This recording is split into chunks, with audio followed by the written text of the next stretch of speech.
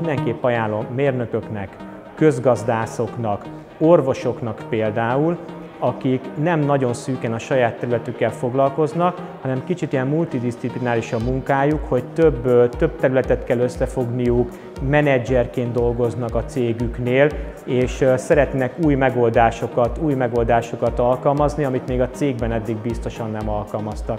Minden ilyen, minden ilyen munkavállaló számára ez egészen új távlatokat nyit.